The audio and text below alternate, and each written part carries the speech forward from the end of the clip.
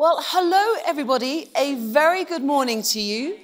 A very good morning, and I'm so, my panelists are so excited they've started already. So oh, that's great, great to see. Um, welcome to day two of the Filecoin Sanctuary. We can listen and enjoy to some fantastic content today and tomorrow with the CNBC Catalyst in partnership, of course, with the Filecoin Foundation.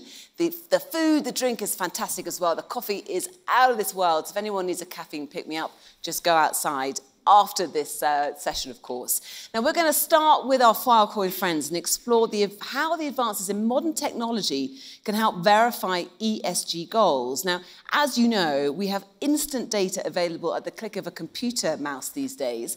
But funnily enough, when it comes to verifying carbon data, there can be a lag of over a year in some cases. Now, this lack of speed and accuracy hinders companies trying to adhere to ESG targets, and it could also increase the risk of greenwashing. So we're going to spend the next 30 minutes discussing how open and transparent data can improve sustainability reporting and also, of course, and essentially, public trust in sustainability goals. So it gives me great pleasure to welcome my wonderful guests and friends this morning, uh, starting with Alan Ransil, project lead at Filecoin Green. Alan, good to see you this morning. We're also joined by Suzanne DiBianca, Chief Impact Officer and EVP of Corporate Relations for Salesforce. Suzanne, welcome.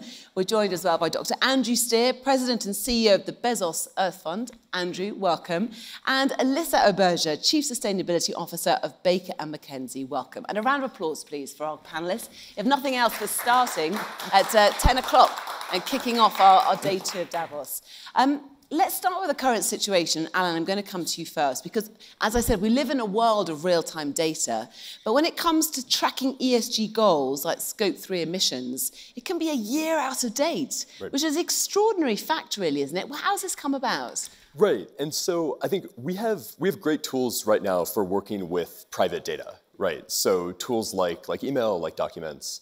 Um, but um, sustainability, right, is, is this, this global set of challenges where we need to convene stakeholders that um, are making decisions not just based on private data from one company um, or one organization, but they really need to be able to share data and make that data open and verifiable across the entire economy, right? And we, we just fundamentally need better tools to do that that work with many of the tools that we have for private data. But typically, sustainability reporting is done once a year. And if you imagine a long supply chain, the out, if, if you change, um, if someone at the, the beginning of a supply chain changes something, right, that changes the carbon intensity of their products and they report after a year, then it can take, um, it can take a long time for their customers to know what that change, um, to, to, to, um, to assess the, the effect of that change on their, on the carbon intensities of their products, right? Then their customer reports after a year, and so on down the supply chain, right? And so I think a lot of the challenge is how can we use public data and publicly verifiable data in order to fill these gaps and allow people to verify the, the information that they're submitting. Um, and we at Filecoin Foundation, we focus a lot on building tools to allow people to make that data open and publicly verifiable um, and, and uh, work on this balance between um, uh, privacy and data privacy um, and, and openness that allows you to address that public trust deficit in a lot of the sustainability. And speed as well, of course. Um, yep. Suzanne, let's bring you in here, here, now. I know that you said, or certainly your organization at Salesforce say, you can't track what you can't see. And I know as the world's largest CRM platform, when you speak to your, your customers, what are they telling you about these issues? Yeah, thank you. And thank you for having me um, here today with these esteemed colleagues of mine. Uh, you know, we think a lot about carbon relationship management. And, you know, we're a software company. So we think the best thing that we can do for climate is to bring our software and our tools to bear. Um, our goal is to get all of our customers to net zero. Um, many companies have set aggressive targets, but you're right, you can't manage what you can't measure. So we've built an incredible tool called Net Zero Cloud uh, that we're very excited about as it relates to uh, auditable data, which I think is really important. We're seeing regulation that's beginning to hit here in Europe. Uh, also, I hope anyway to see it soon in the United States.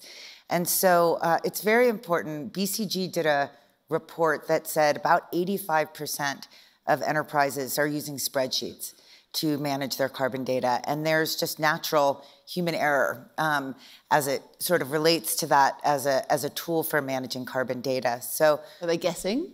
I mean, literally inputting. Well, yeah, well, you're inputting, but you have just a higher probability for error. Yeah. Um, and we believe in real-time data is really powerful and have invested in a great company, for example, called Measurabl, that's doing real-time energy data management. And we are able to sort of suck that right into your system so you can see as you go throughout the year, not at the end of the year, how you're doing, for example, on your emissions reductions targets. It, it makes sense. Um, Andrew, I mean, you've had a, a stellar career, to say the least, uh, working in this in this sector. Of course, now you, you run the Bezos Earth Fund, but before that, you were at the World Resources Institute, and you actually were in charge of the organisation that built the Greenhouse Gas Protocol way back when. So, how do you think we should handle the the, um, the lags in reporting, you, as we've seen the problem so far? What's your solution? Well, we're still climbing the learning curve. I mean, 20 years ago, it was uh, the Wild West. Yeah. You know, companies wanted to, um, uh, you know, count their greenhouse gases, but actually there were no clarity in terms of how you do it. Um, and we've come a long way. You mentioned scope three. I mean, just so people know there's scope one, that's the emissions you yes. come from your own factories. Scope two is where you get your energy from. Scope three is the difficult one. It's your entire supply chain and both up and downstream. And some companies have thousands of suppliers and thousands of those that they hand their goods off to. Measuring all of that's very complicated. Um, and then you're supposed to report it to uh, one of the reporting agencies like CDP or whatever. Those are not as transparent as they should be. Um, so I think the way we should look at it is we're, we're sort of 15 years in now. And um, 10 years from now, we need to be much, much better, much more transparent. And that's what this discussion is, is really all about. A consumer or an investor um, or a staff member of a company needs to know what are they really like? How well are they actually mm-hmm. doing? And they need to get annual data. Um, uh, we don't necessarily need it to be published more often than, than a year uh, annually, but you certainly need to know the journey that the company is on. And of course, with technology, we're now able to do things that we couldn't do. So, for example, the Bezos Earth Fund is, um, is financing something called Land and Carbon Lab, where for the first time ever, we'll be able to see not only trees that fall down to 10 meters by 10 meters, but trees that grow, crops that change, and we'll be able to estimate the carbon embedded in that, the so called carbon flux, everywhere on the Earth's surface every single week. Why is that relevant to this? Well, if you're a food company and you're buying oil palm, you need to know where does it come from? Is it honorably um, harvested and grown? So that's one example. Another thing we finance is, uh, is uh, uh, satellites for uh, methane measurement. So you'll be able to measure methane everywhere on the Earth's surface, and you'll be able to then measure your greenhouse gases much better. But of course, there are many, many other sources of greenhouse gases, and we're still, it's still work in progress. Yeah, it sounds, sounds like it. Please, Alan, can, can I jump off of that? Very yeah, quickly, think, and then we'll go to Alyssa. Yeah, and I think I think a, a lot of these these sorts of advances really are where when you're able to build systems that take data from many different sources, you can you can really improve this sort of reporting. And yeah. an example of this that we're very involved in in Web3 is measure to earn programs. So people who are on the ground on the front lines of the climate crisis and biodiversity crisis, they need some way to make money and put food on the table that doesn't rely on degrading the, the natural systems that they're the stewards of. And so many projects um, like Gainforest, like the Open Forest Protocol, like the Regen Network, um, allow these people to take measurements of the natural systems that are, are just part of their life and submit those into um, into Web3-based systems that then allow you to, to get that sort of transparency that you're talking about and see, mm. I have this carbon offset, what does that carbon offset actually mean for facts on the ground, right? What is, what is the tree that was planted or set of trees? What is using inexpensive drones? How can we take that carbon offset and relate it to measurements of the local environment and actually bring um, stakeholders who are, are stewards of that land into the entire mm-hmm. system mm-hmm. and include them in a, a substantive way. Yeah. yeah. Some great, great ideas there. Alyssa, let's bring you in now. Um, I, I read with interest that uh, Baker McKenzie sees it's the world's first climate change law firm. I think you were kind of it, it back in the game many, many years ago. Um, what's your view on, on out-of-date data uh, impacting ESG initiatives and, and the, the kind of raising the spectre of uh, greenwashing and general lack of trust? What issues do you see? So I don't know that I worry so much about the out-of-date data. I think what I worry about is the unreliable data, the non-verified data, the fact that we need to have confidence in the data that we're pulling. So if we're looking at scope one and two, that's one thing. If we're looking at scope three, where we need to look upstream and downstream, we absolutely need to get every single link in that chain. And what we tend to see is that in many instances, companies, the supply chain opacity, if you will, they just don't know. They haven't really mapped out. So to me, starting with your good baseline data, auditing your supply chain, knowing every single link of it is step one. But then you really need to get to a place where you can be confident that what you're pulling from your suppliers is actually valid and accurate. So there, you know, there's, if you've got a big supplier, they might be able to do it more effectively. They can probably, you know, even engage in external insur- assurance. Whereas if you're dealing with a small supplier, you've got all kinds of issues around. You want to be able to work with diverse, small, minority, women-owned businesses, but yet do they have the tools to do it? So I think the more we can democratize data and the more we can make it easily accessible, we will get to that place where we'll be able to have a good view of scope three that we can feel confident in. And once we feel confident, we can publish our results with more confidence, and that builds trust. And I think a lot of the, the greenwashing, to your question about mm-hmm. greenwashing, mm-hmm. comes from the fact that a lot of people have made a lot of very aspirational statements without any idea of how to get there right? So they've, they've said great things, and then they don't really have a plan. And so they've either gone out to the market too ambitious, and then they fall down, and they've got an issue. They've got an activist, they've got an NGO, they've got employees, they've got mm-hmm. customers mm-hmm. that aren't happy.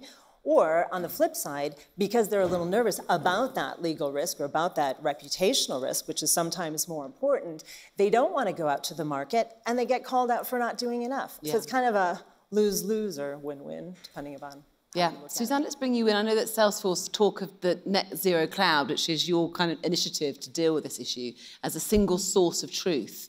I mean, can it work across the industry? You, I mean, because there, there, needs to be alignment, doesn't it, across? Yeah, and I would say, I mean, it's very different in some cases. A manufacturer uh, versus a retailer versus a, a software company, for example. You're, however, 80% of the data is often the same, and so we're really trying to listen um, to what our customers are looking for and build it into this solution. So scope three is, uh, to Alyssa's point, has been um, a challenge for many, many companies. We've just put a scope three module out.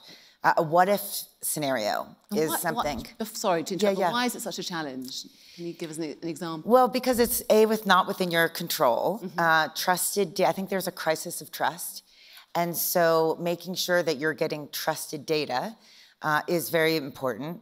Uh, we were speaking yesterday, and for our suppliers, uh, we've put now a supplier exhibit in place where we're uh, asking all of our suppliers to make science-based targets.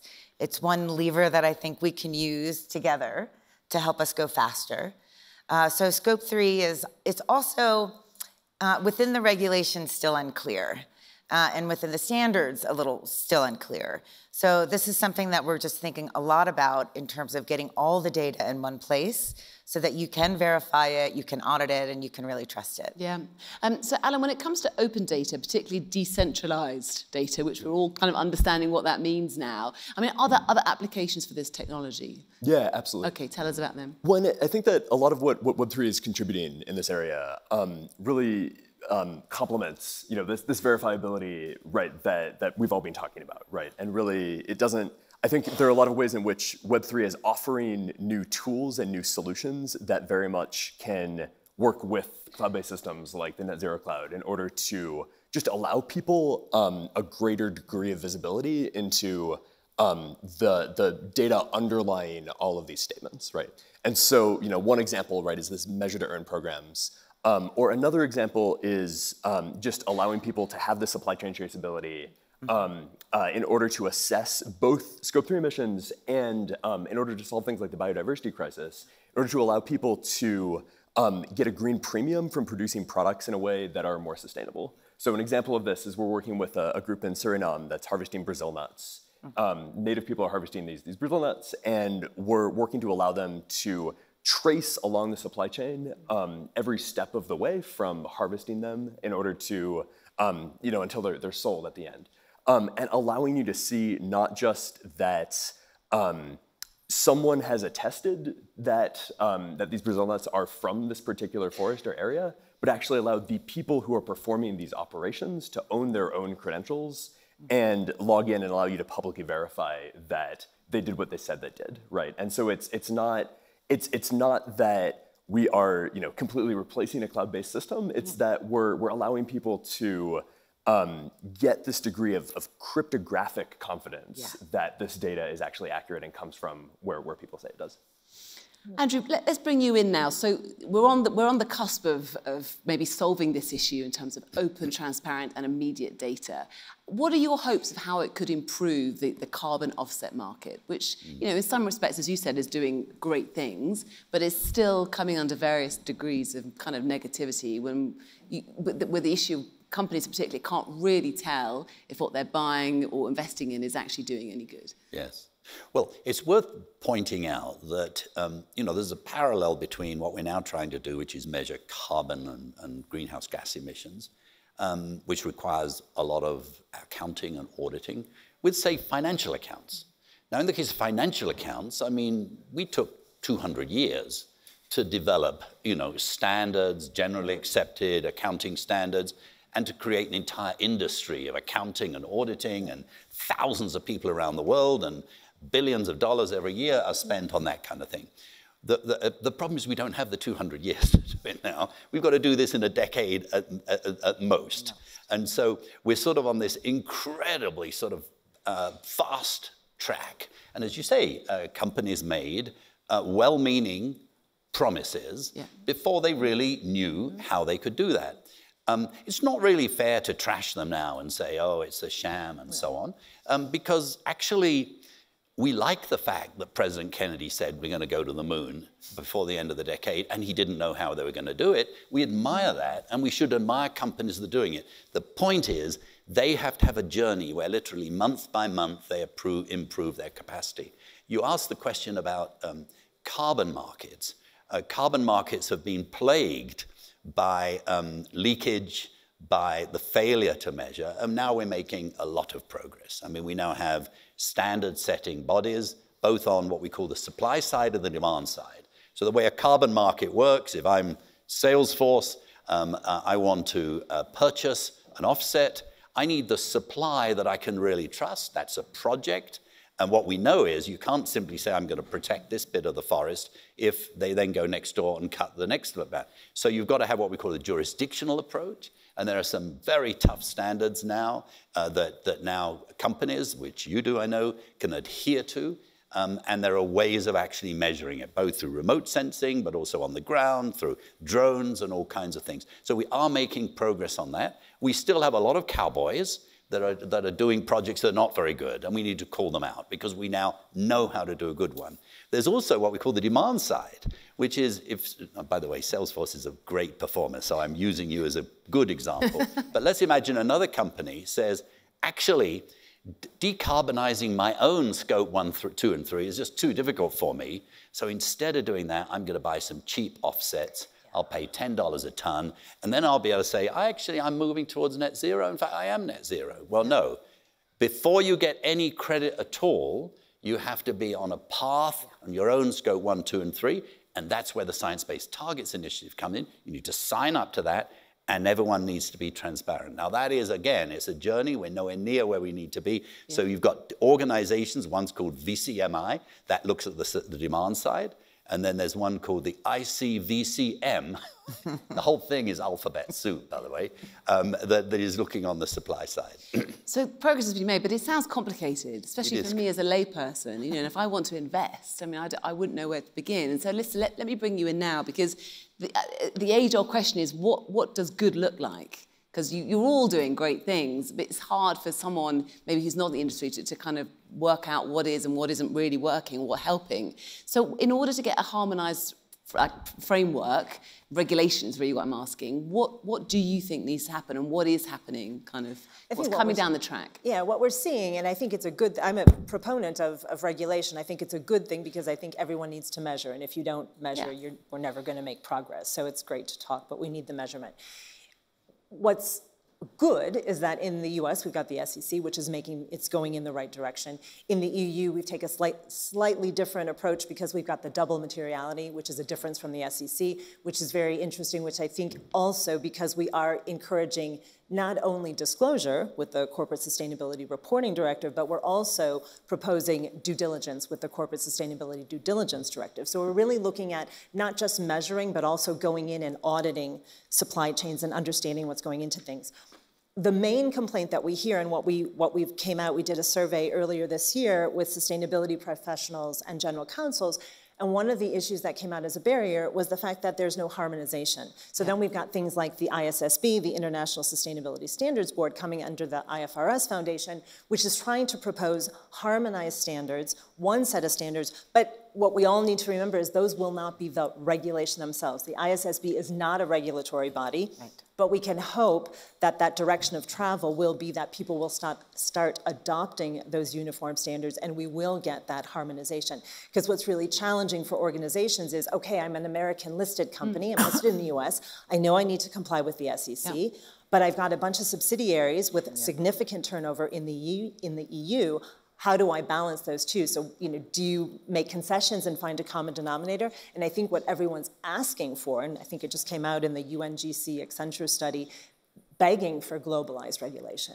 so that we're all playing on the same field, the level playing field, really essential. I mean, you're all nodding, so I'm going to come to yeah. all of you. But um, uh, Suzanne, I want to come to you first because I know that Salesforce signed a letter to the SEC back in 2021 um, saying that you're an advocate for mandatory climate disclosure. And I know that you're a very powerful voice in the industry. So how are you getting any traction? How, how is that kind of movement going? Yeah, thank you. And we've been disclosing our carbon data since uh, for almost a decade uh, on our proxy statement uh, in our 10K, uh, in addition to our uh, annual report that we've been doing. So uh, I think we all, what's been very interesting to me is who has been moving this conversation forward fastest is the investment community. Right. And so in the absence of government regulation, I've been very grateful um, for the investment community who is really pushing it uh, far fast. And you know, as it relates to quality in the, in the carbon markets, I just want to build off something that Andrew said. You know, it's critical to have an emissions reduction target. Salesforce has a 50% emissions reduction target, uh, absolute emissions by 2030. And then uh, you must do what you can. It's a yes and conversation, in my view, to offset what you're currently uh, expending in carbon in the carbon markets. And there is more transparency. Uh, we don't want perfect to be the enemy of the good. Uh, we have an incredibly rigorous process, and where you had asked about, you know, what does quality mean? For us, it is biodiversity, it is the inclusion of indigenous people. Uh, there are so many important things about investing in biodiversity that have secondary benefits uh, in addition to the emissions target. So I think You'll see, you can see we've published some policy principles in blue carbon and green carbon, and really looking at how do you have a holistic approach to when you think about the carbon markets than just thinking about it as a only as a carbon sequestration mechanism. Okay, Alan, do you want to come in? Yeah, of course. Um, I think one thing I'd, I'd, like to sort of bring into this is, is interoperability, right? In that there are, are many different standards, mm. um, and it's it's difficult to make sense of all of them in a way where you're able to actually um, take different data sets, relate them to each other, and take your, your final set of sustainability statements and really show how that's related to all this data that you're pulling in from all these places. And, and like you said, Suzanne, uh, you know, this is largely based on Excel spreadsheets yeah. right now, which is not, not sort of where we want to be, right? And so one of the things that we think about a lot is content addressing. Um, the, the typical web um, is based on location addressing, which is where you, uh, uh, you access information based on where it is on a server. And in Web3, what we really focus on is accessing information based on the content of that information itself. So what content addressing is able to give you is this universal coordinate system for data. And where we're really pushing this, um, that's especially relevant to um, interoperating between all of these different standards in this field is pushing that to um, being a universal coordinate system for the format of data, not just the underlying data itself. Mm -hmm. And what that's going to let you do is define these different transformations between standards. Yeah. Um, say in, in carbon offsets is a yeah. great example of this. And really, in, in, a, in a, a, more open source way, allow you to allow anyone in the world to write programs that, you know, little snippets of code, right, that just transform from one standard to another, and then allow you to, to automatically build these transformation pipelines that then let you take data from many different sources and show what that, what that sort of ladders up to in the standard that you're interested in reporting to. Yeah. Um, so for example, CDP. Yeah. Yeah. Andrew, I want to bring you in now. It's really interesting what Suzanne you said about the investment community kind of coming into the fray now and that kind of being the real advocates to, to move towards more regulation. Of course, you know, $10 billion fund, uh, the Bezos Earth Fund. So you've, you've got uh, the power of the money behind you. Do you agree with that? And would you like to see more kind of uniformed regulation to make it easier to be accountable? Yes, look, we, we uh, Suzanne's absolutely right. You know, we originally thought that the demand for better standards would come from consumers. Yeah. And it, it does to some extent, but actually we didn't understand that it would be the financial yeah. sector that would come in in a big way. Why is that, do you think? Well, it's, it's, it's, um, uh, it's partly because I think pension funds in particular, um, uh, but now actually funds from all sources of savings, are saying, actually, if I, I, I want my pension to earn money for me, but actually I also want to do the right thing. And starting in, well, Europe, but also places like California, the California Teachers Fund, Pension yeah. Fund, you know, they said, actually, we're teaching climate change to our kids. We want, I want my pension to be honorably invested in a way that we never would have imagined. I mean, if I, a long time ago, I did a PhD in finance. And if somebody had said, by the way, the job of the financial industry is to solve the problem of climate change, I would have said, you must be, what are you smoking? That's not the job of finance at all. The job of finance is to make money and assess risks and so on.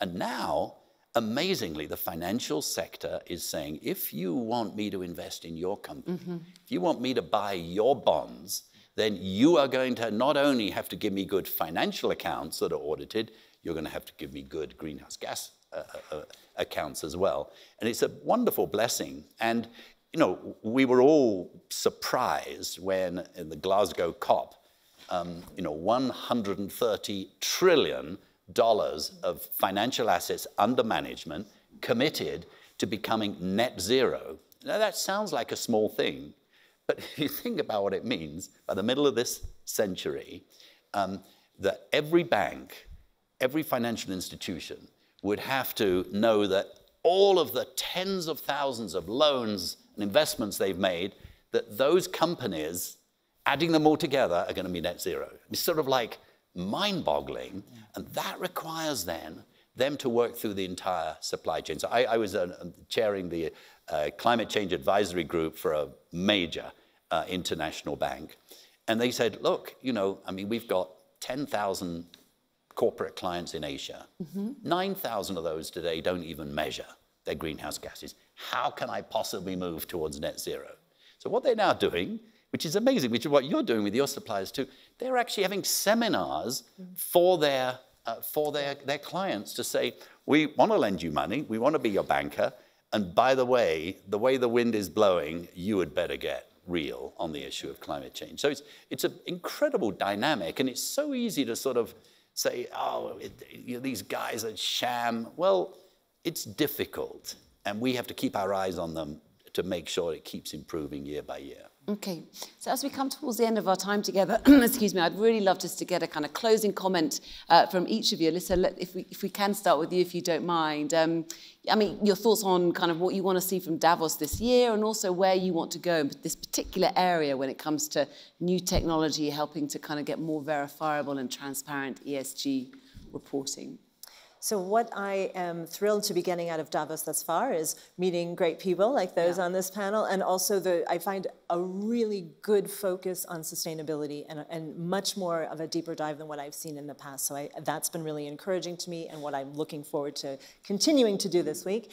Uh, in terms of what I would want to get out of the sustainability, out of the technology, is I think everything we've been talking about, really the ability to have confidence in what we're pulling, have confidence in what we're reporting, and have confidence to work both upstream and downstream to make sure that we really know what our emissions are, that we're not talking about the hypothetical, but that we're really able to make measurable progress. I think the time is over for feeling good and saying we need to do this. It's the time to do it. And so that's what I'm excited about the technology for, how that facilitates that.